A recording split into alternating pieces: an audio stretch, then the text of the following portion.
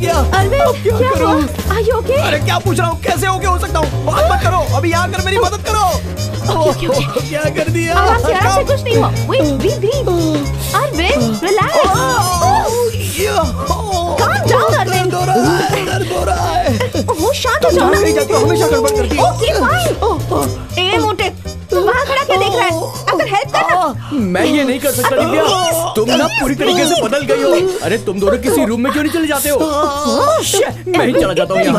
तुम्हें पैंट पहनना नहीं आता क्या? बच्चा समझते हो अपने आप को। बहुत दर्द हो रहा है दिव्या। प्लीज़ कुछ करो। डिस्गस्टिंग